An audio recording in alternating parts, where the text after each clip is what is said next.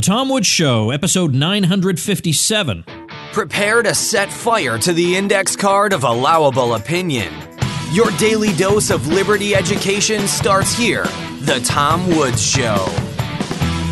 Folks, check out the titles of these intriguing books 14 Hard Questions for Libertarians Answered, Education Without the State, Your Facebook Friends Are Wrong About Healthcare, and Bernie Sanders is Wrong.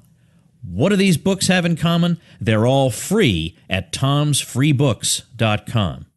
Hey everybody, Tom Woods here. Frederic Bastiat is our topic of discussion today. He was, of course, one of the great French classical liberals of the 19th century. A great many of you, no doubt, have read at least some of his work. He is tremendous, a wonderful writer, masterful thinker, but it turns out he also had an, a very eventful life.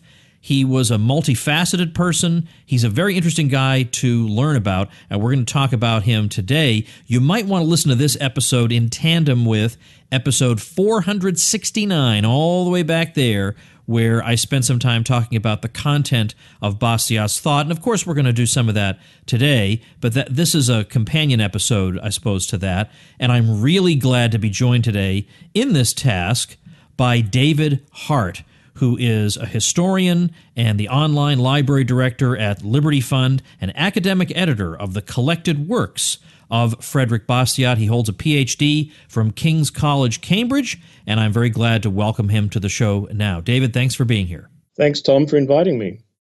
I think almost everybody loves Frederic Bastiat when they get to read him, but the shame is that a lot of people read The Law, which is a great little classic, and they're familiar with the analysis in what is seen and what is not seen. But I bet most people don't realize that you could fill potentially six volumes with the work of Frederic Bastiat. You would know very well, wouldn't you? I certainly do, yes. Um, I've counted on my word processing file over a million words that he wrote in a very short space of time, which is quite remarkable. When I first discovered Bastiat, um, I was a teenager growing up in the suburbs of Sydney in Australia, and I'd come across uh, the writings of Ayn Rand and Murray Rothbard, I read Mises, and of course, then I read Bastiat. I, I remember buying his books from laissez-faire books, and I read, you know, the FEE editions, which is less than half of what he wrote in his lifetime. And I read him and I thought he was a very clever and funny um, journalist, but that's all. I, I, sort of took the Hayek line that he was just a good journalist and uh, n- nothing much of a theorist until um, Liberty Fund's project uh, uh, to translate his entire works um, came across my path. And um, I read or reread um, Bastiat in the original, all one million words. And I thought, my God, this man is much, much more than a journalist. Right. Now, I, I think my friend Mark Thornton came to that uh, position as well, that we think of him as having been a very skilled popularizer. And nothing wrong with that. That's a wonderful service that we need. But when he was, in fact, much more than that, he deserves the full credit. Now, as you've gone through and read all this material, would you what would you say are the lost works of Bastiat that it's the biggest shame people don't know about? I think that the way he was able to combine at least three or four sets of activities. Um, he wasn't just a journalist and a popularizer. Uh, he went to Paris quite late in life. He was 44, and he discovered Richard Cobden and the Corn Law League's activities in England. And he was passionate about setting up a, a, a free trade movement in France. And he started writing to Cobden and wrote a wonderful book about uh, Cobden and the strategy that the Anti Corn Law League was using um, to bring about free trade in England. That was his first book, and that's never been translated. And the first 100 pages of that book, written by Bastiat, is his strategizing about how to change um, France from a highly protectionist country into a free trade country. So that's interesting. He's a, he's a strategic thinker. Um, he then goes to Paris and is this uh, tr- sets up the, the, free trade movement. So he's an agitator. He's a public speaker. He, he, he um, goes to meetings. Uh, he lobbies the parliament. So he's a he's a he's an activist. That's sort of like one of his uh, lesser known activities. Um, the revolution of 1848 breaks out in February, and uh, the, he then becomes a politician, and he gets elected from uh, to represent his uh, the region of France he comes from, which is the southwest part, the Gascony, um, and he becomes a very successful uh, politician. He he is the vice president of the finance committee of the chamber. So uh, I've come across a number of his speeches in the parliament which have never been translated before, and uh, they're hard hitting and very interesting. Uh, then his uh, a third sort of activity was during the revolution. He was actually on the streets of Paris handing out a little revolutionary magazine, urging the working class uh, to, not to be seduced by socialism. And he, he gets caught up in the crossfire between the troops who are suppressing the, the, the rioters and the rioters. So he's a sort of street fighting economist, which is, I, would never come across that before. And then um, he's also uh, writing this whole series of anti socialist pamphlets during 1848 49. I've counted about 12, and not all of them have been translated. Um, and they're wonderful attacks on every aspect of socialism you could imagine. And then, uh, sort of the final part of his life is um, as a theorist. He's, you know, while he's doing all these things, being constantly distracted by politics and revolution and so on, he's trying to write his um, treatise on economics. And he has, I would describe him as a proto Austrian, or perhaps also a proto public choice theorist. And the tragedy, of course, he never finishes that project and dies a very painful death, far too young. Indeed. Yeah. I think his dates are just from memory. Is it 1801 to 1850? Yeah, he's 49. And um, it's interesting that he, I'm trying to figure out why he left his quiet backwater in the southwest of France at the age of 44 to start a whole new career. He was quite well off. He was a landowner. Uh, he earned enough money to you know ta- to pay taxes that would allow him to uh, to vote. It was only about two percent of the population earned enough money to vote uh, before 1848. So I don't know why he left um, that very comfortable life. Uh, it must have been a passion of some kind. You know, he wanted to bring free trade to France. But anyway, he, he pulls up his roots and moves to Paris um, at this relatively advanced age. I mean, most people didn't live to be 50 and has a whole new career. I think also possibly he, he knew he was dying. He had a throat condition, which I think was uh, throat cancer, not tuberculosis, which is the common uh, explanation for his death. And I think oh. he knew that if he didn't do something, he I think he knew he had a book in his head that he could write. And if he didn't do something to get out of his little backwater, it would never get written. Now, Liberty Fund has done collected works of a lot of people, and indeed people who died not even all that long ago. But in that case, it's it's a matter of collecting them, organizing them, introducing them, and publishing. But here, it's also a massive translation project. So, are you going to be bringing into the English-speaking world a lot of material we've never read before in English? Is that the idea? Oh yes, at least um, twice what FEE had um, translated. Uh, for example, volume one of our collection is his correspondence. So, so that's never been translated before. And that's fascinating because it shows us the personal side of Bastiat. And, and I called, in my talk, I said he was the, the unseen radical. And it's in his correspondence where a lot of that comes out. Um, just to step back a little bit, um, he had a, um, a, a, curiosity that was almost insatiable. When he was uh, a young man. He inherited property from his grandfather. Um, and he was only 25. And um, he and some neighbors set up a, a, sort of like a book club or a discussion group. And uh, they met on a regular basis. And, you know, he, he, we know from his letters that he was reading economics and, and, and social theory and was a, a supporter of free trade. But what I didn't know until I read his correspondence carefully was that he read practically everything that had been written in economics in four different languages. He spoke obviously French, um, but he spoke English, Italian, and Spanish. And so he was uh, sitting in his, his little backwater for 20 years reading nothing but economics. So when he comes to Paris at the age of 44, 45, it's ready to come pouring out. It's quite remarkable.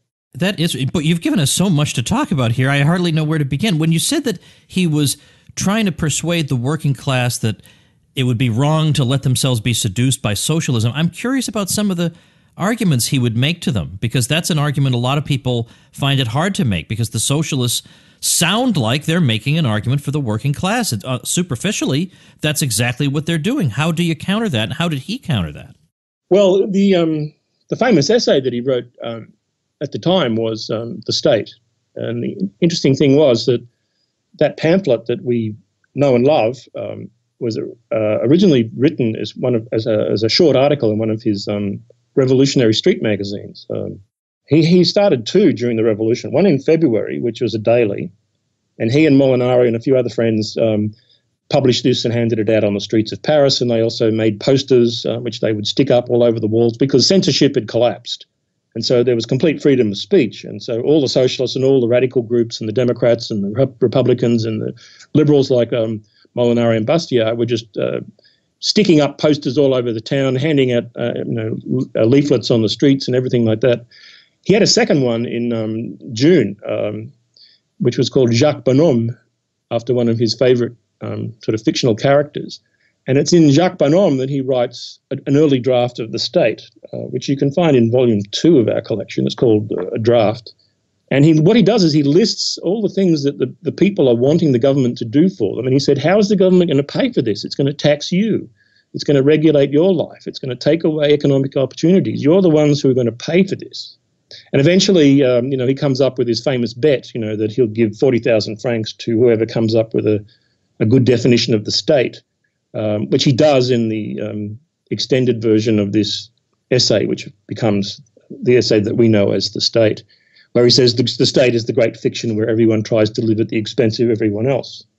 But his basic argument was that uh, what you're asking the government to do is, is going to um, reduce economic opportunity, which will hurt you in the long run, and you will then end up paying um, most of the taxes because they don't have an income tax. It's all indirect taxes. And he says it's the it's the tax on salt, it's the tax on meat, it's the tax on bread, it's the tax on wine, it's the tax on sending letters through the mail. He said it's the working class who pay all these taxes. And he said that's why you're being exploited. I'm also intrigued by Bastiat as a strategist because that's also something that we struggle with today. We feel like we have a really compelling worldview and we feel like we've got the right way to think about the economy, and yet it seems like we're a million miles from where we want to be. And it seems as if we would need an extremely educated populace even to have any hope of having any making any progress. So, what did he think about this? About what we should be doing, or at least what France should be doing?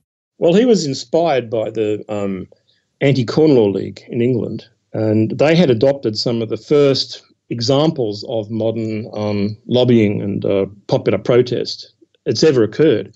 Things like um, mass meetings, uh, collecting tens of thousands of signatures and dumping them on the steps of parliament to put pressure on politicians, uh, having um, public talks across the country and selling merchandise. I mean, I, I had no idea this that Cobden did this. You could buy um, all sorts of merchandise like uh, envelopes and letters and plates and know, little bust figures of Cobden, uh, which they used to raise money. And uh, Bastiat reads all about all this and says, "My God, we we should do the same in, in, in France." So it was partly a much more sophisticated um, use of the technology of cheap printing. Um, you know, they were cutting in England. They were cutting the cost of sending uh, letters you know, to the, you know, the penny stamp was uh, had just come in in the late 1830s, early 1840s, and the Corn Law League uh, is an early adopter of this to send out their propaganda cheaply all across um, um, England.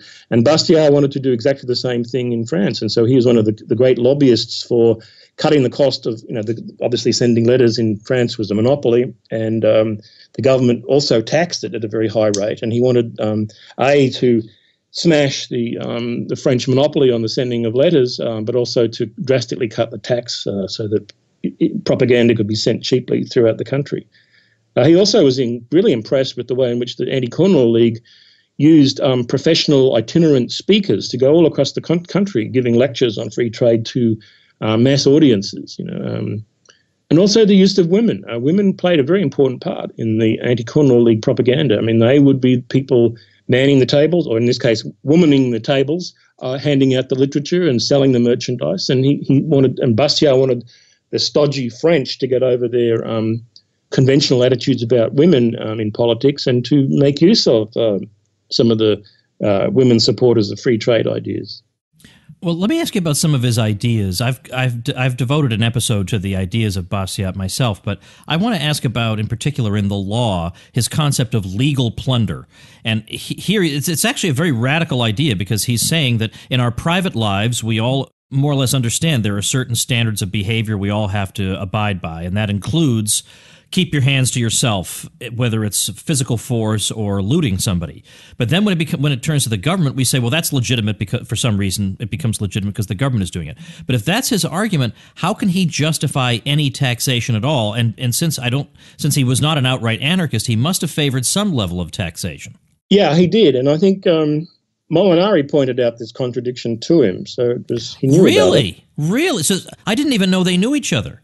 Well, they were contemporaries. I mean, Molinari was 20 years younger than Bastiat, but they um, were both in Paris at the same time. Molinari was a young journalist uh, when Bastiat arrived, um, and they became very close friends. Um, and so when the revolution breaks out uh, in February, Molinari goes to Bastiat and says, We've got to do something. Let's start a, a magazine and hand it out on the streets. And uh, the two of them collaborated both in February and then again in June, starting two different little magazines. And, and they were out there in the streets together. Um, so they were very close. Um, and Molinari has some very interesting things to say about Bastiat in his obituary, um, which he wrote just after, you know, in 1851, uh, which we can talk about later. Um, but you know, to go back to this idea of plunder, um, Bastiat um, had been developing this idea for a few years before um, the law appeared, uh, sort of 1847, uh, 46 perhaps, when he starts writing what would become his economic sophisms. He says we've got to use the right language to describe what the government's doing to us. And he says um, we have to use harsh and, and, and plain language. And what the government is doing, it's stealing from us. And so he came up with all these different words to describe what the government did, like um, filching, plundering, stealing. Um, and he came up with this idea of extra legal plunder, which is what common criminals do, the highwayman does. You know, we all think it's bad. But he said, well, what the government does is legal plunder. And he says, we've got to be very clear um, and we have to use these, these words. But it's only plunder if the government doesn't provide you with a service in return for what it takes. Um, so that's where he gets over that um, anarchist problem, you know, that not everything the government does is bad because it sometimes does provide a useful service in his view, like providing police and defence uh, uh, services. But Bastiat's idea of the ideal tax was his, uh, his, ideal tax was a flat and very low income tax on every um, everybody. Um, before they could move, he, before you could move to that, he says we, we, we have a system which is heavily weighted in favour of indirect taxes and tariffs. He wanted to abolish indirect taxes on, on food, for example, um, salt, alcohol, um, and replace that with a 5% um, tariff. He, he thought a 5% tariff was um, a revenue tariff. Anything more than 5% was a protectionist tariff, and he wanted to reduce all tariffs to uh, no more than 5%. So he, you know, he did see, uh, but he he wanted. Um, I call him an ultra minimalist because it, the, what the things he wanted the government to do were extremely limited. Um, one of my um, one of his most radical uh, economic sophisms is called the Utopian, which he wrote in early 1847, and it's a fantasy of um, the king comes to a politician, which is obviously Bastiat, and says, "I'm giving you dictatorial powers to change France in whatever direction you want," and this utopian politician starts dreaming about how many um, government departments he would ab- abolish, how many taxes he would cut, and he goes uh, on and on with this great list of slashing, um, you know, the government right down to the bone.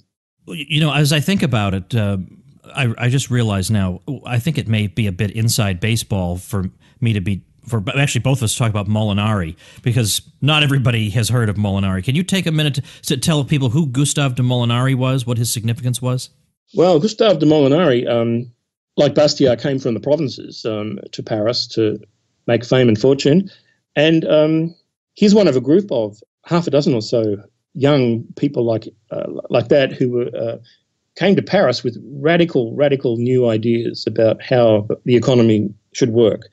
Um, a French historian by the name of Gérard Minart calls them the four musketeers of French political economy. But I think, in fact, there are seven.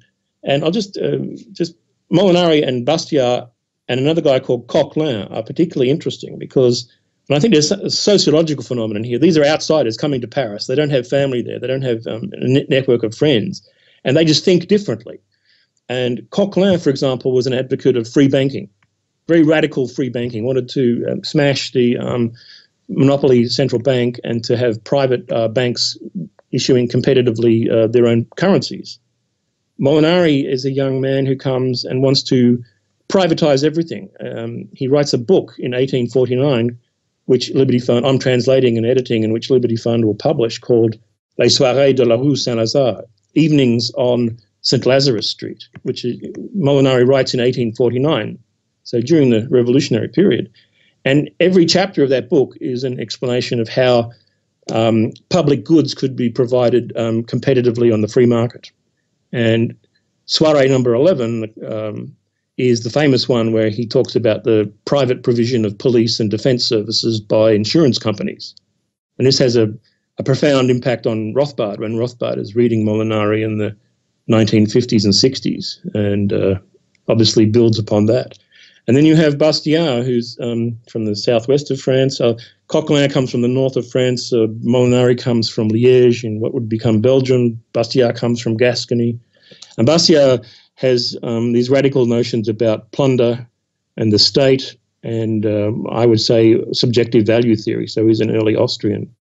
So these three guys are all working together um, in Paris. Uh, there's an, a, another guy, uh, who's a, who's the an older man who's the publisher, and he's he's a bit like um, the Liberty Fund. His publishing firm um, publishes all the books that these uh, economists are producing. He prints their journals, and uh, he arranges financing for all their activities. Uh, uh, so he, he, he's he's a very important figure.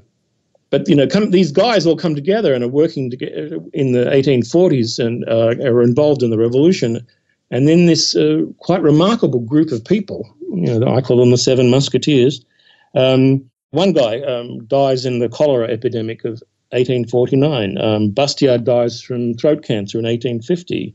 Coquelin dies from a heart attack in 1852. Gustave de Molinari decides to leave Paris because he refuses to live under Napoleon and moves to Brussels. It goes into kind of voluntary exile. So this extraordinary group of radical libertarians is dispersed and broken up, uh, which sets back the French classical liberal movement by um, many, many years. So it's an exciting time. If I could ever get control of a Doctor Who episode, I'd take the TARDIS back to Paris in 1848 so I could meet some of these guys. Well, as a matter of fact, you did write a screenplay about the life of Bastiat. What does that look like?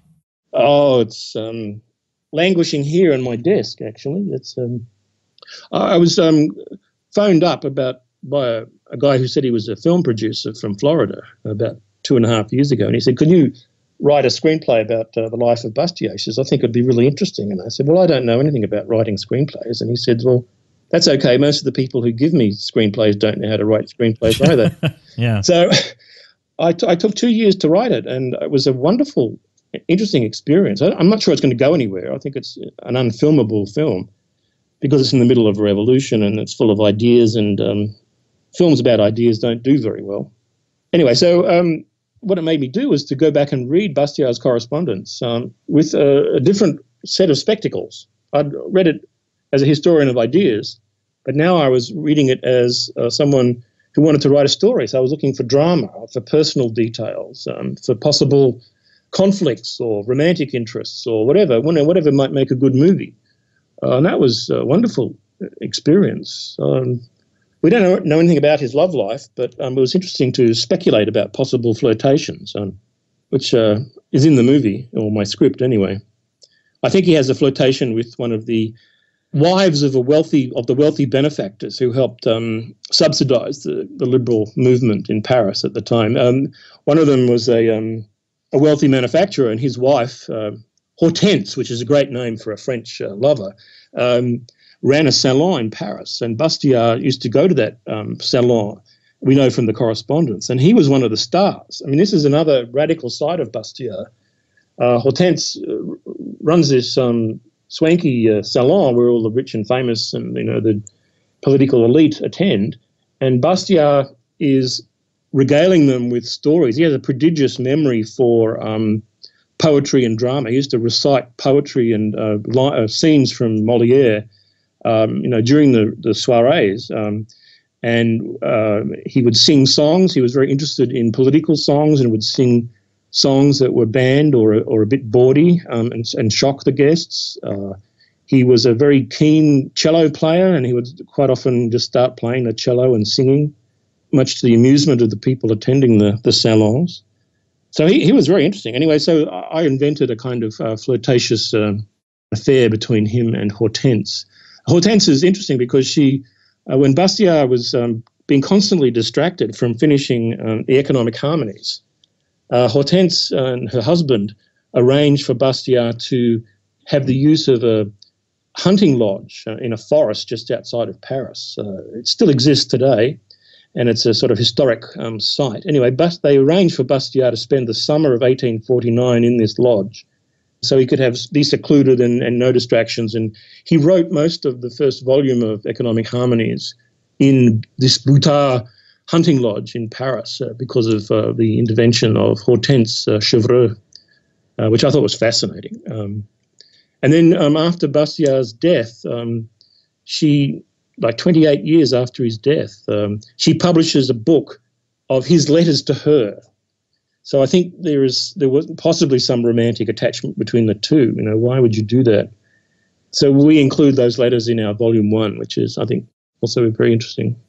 Very interesting indeed. Now, sw- switching gears for a minute, what can you tell us about Bastiat as a theorist as opposed to just a popularizer? Yes, well, that was the one of the biggest um, revelations to me when I uh, looked at Bastiat more closely. See, so much is going on um, with his political activity, you know, the free trade movement, and in, as an elected politician, and all this, uh, you know, journalism and so on. Um, that he's constantly being distracted. And uh, but what you do, what you can do is you can see um, sort of elements of, of original thinking. And I have a list of them I could go through um, if you're interested. But um, I kept, as I read all this stuff, I kept thinking, oh, that's a very interesting insight. It was just sort of like a throwaway line where he'd be talking something about subjective value theory. And um, this kept happening so many times. I said, well, this can't be an accident. If it happened once or twice, he's just lucky, you know, he, he stumbles across an idea. But it kept happening again and again and again. And so I began compiling a list of some of the ideas that uh, original ideas that he was coming up with, and it's very impressive, and they keep recurring. So I know, um, I know he um, he thought deeply about this. I have a in volume four, which is I've just handed um, the, the final draft of the manuscript to our in-house editor. There is an essay that he wrote in early 1845. He writes a letter to the um, the poet uh, and, and, politician Lamartine, um, where Lamartine um, seems to be advocating one of the, a socialist idea about um, you know workers have a right to a job, and Bastiat attacks him, which is quite a courageous thing to do because Lamartine was sort of considered to be a liberal hero at the time. And in this essay, which will be in our volume four, he comes up with about a dozen of these key original insights, all in the one essay. So it's my view that these ideas were in his head before he came to Paris. Right, he'd been thinking about them for 20 years, um, and it, as I said before, it all came pouring out. Um, let me just give you a. I'll, I'll see if I can find my list here. I had it. I had it earlier. Just some of the insights that just scattered in so many of his writings, but when you put them all together, it's very impressive. And of course, that's what he was trying to do in, in writing the economic harmonies, but could never. He just couldn't finish it. I mean, one of the most important things is the idea of opportunity cost. You know, the whole thing about the seen and the unseen. Tony de Jasay uh, thinks that Bastiat invented that, and is, is that's one of his greatest claims to fame. I came across his use of the term ceteris paribus, all things being equal, other things being equal. Um, he uses that many, many times in his writings, and most economic historians think that John Stuart Mill was the first person to use it um, consistently in the early 1840s, but here's Bastiat in the mid 1840s, um, not apparently having read John Stuart Mill, but using um, the same idea.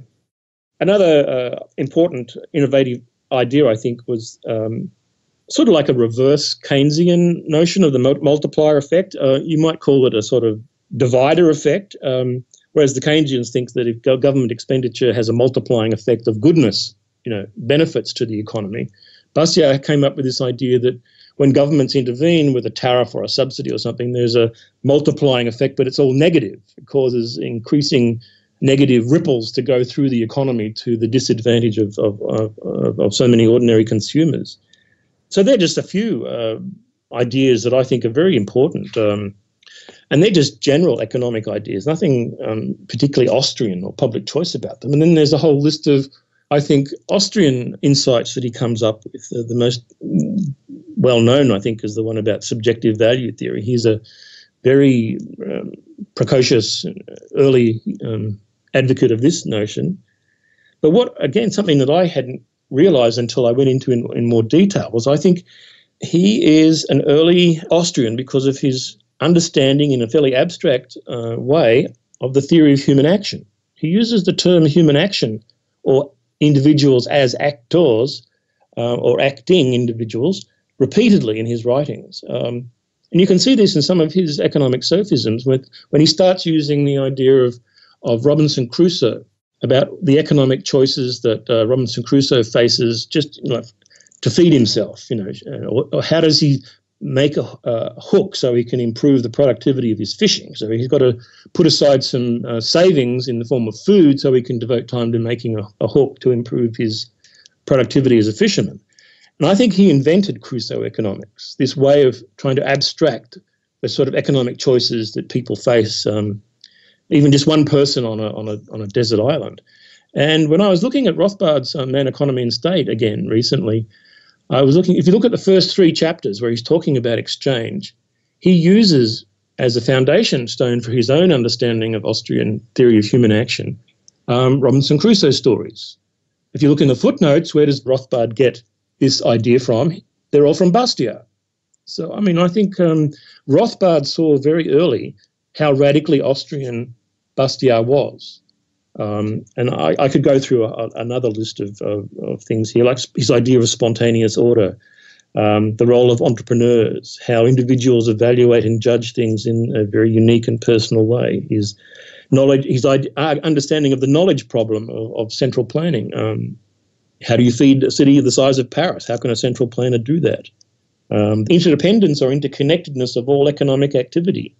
He has an early version of Leonard Read's I Pencil story. Um, he, ha- he talks about a carpenter, a simple village carpenter, and, and how that carpenter um, uses things from all over the world that he had no, um, uh, he didn't create himself. And then there are public choice insights, uh, self interest of bureaucrats and politicians, um, the whole notion of rent seeking. Um, and I could it could go on and on, but I think you know that they're just a, a sampling of, of some of the important ideas that Bastiat had that he's not recognized uh, for. What can you tell me about the circumstances of Bastiat's death? And then I'm also interested in Molinari's obituary for him, which I've never seen before. Well, that's because it hasn't been translated. Um, oh, okay, that would explain it. it. That would explain it. Yeah. See, Molinari uh, was a very long-lived um, person. He lived. He was born in 1819, so 18 years after Bastiat, but he died in 1912. So he was in his 90s. And he lived long enough to see practically every important 19th century French classical liberal die, and he wrote their obituaries just because he lived longer than anyone else, um, which is rather sad. But um, everyone thought that Bastiat must have died of tuberculosis because he, he complains about coughing um, in his correspondence. But when you read more carefully, um, he also complains about a lump in his throat and how he couldn't swallow and that suggested to me um, cancer of some kind. And we know it was extremely painful, and that it took him several years of to die, um, often in extremely difficult, painful circumstances. Um, so that, that's one of the things that I've learned to admire about Bastiat is how the, the courage he had in the face of death. You know, he just kept working and working and working, writing books and pamphlets and doing his research, uh, even though he knew he was dying which which is uh, I think uh, admirable. I'm not sure how I would uh, cope if I knew I was dying and doing so in such a painful way. Um, yeah. So the last year of his life, you know, when he when he writes um, the law and uh, what is seen and what is not seen, two of his most famous works, he does that over the summer of 1850 when he only had months to live and he would have been in excruciating pain. It's quite extraordinary. Yeah, it is. It is. Because what is seen and what is not seen is regarded as one of his greatest works, and uh, uh, I read in the the French original French editor's uh, comment about how what is seen and what is not seen was produced. He said Bastiat uh, wrote the what we have is his third version of it. he wrote it once and then lost it in a move. He wrote it a second time from memory and wasn't happy with it and threw it in the fire and then wrote it a third time. It was quite, I mean, while he was dying of you know throat cancer. Wow. Wow. Geez, he was he was a dedicated man. Dedicated man, yes. But you know, I think perhaps dedicated sometimes with too many things on his plate. I just wish he'd spent more time working on economic harmonies and getting that into good shape because I think that was meant to be the first part of a three or four volume work on social theory. And had he, I've tried to reconstruct that. And I, if you look, go to the an essay I've written about this on the Online Library of Liberty website. Uh, if you just key into your um, favorite search engine, OLL which stands for Online Library of Liberty, OLL Bastiat project, you'll get the, the page where all this stuff is listed. But I think he wanted to, he's originally called the book Social Harmonies. He wanted to write a book about how humans can organize all aspects of their life, you know, social, legal, religious, personal, economic, in a harmonious way in which they can all pretty much pursue their own ends and, and have those ends satisfied without causing too much harm to each other. And then he realized that was too big a project and that he really should concentrate on the economics, just one aspect of a much broader picture. And then I think he also had in mind uh, another book he was going to write on disharmonies. And this was to be a history of plunder about how both private individuals, but more importantly in his time, organized states could um, disrupt and destroy the harmony of society, the harmony of the of the economy um, through plunderous policies like taxation and intervention and uh, tariffs and subsidies and so on. And uh, he sketches some of this out in the first two chapters of the second series of the economic harmonies, the physiology of plunder, where he goes into sort of in very sketchy way, um, sort of a historical process whereby plunder changes over time. So I think he probably had you know three books that he was planning to to to write, and then only had time to finish the first half of his economic harmonies.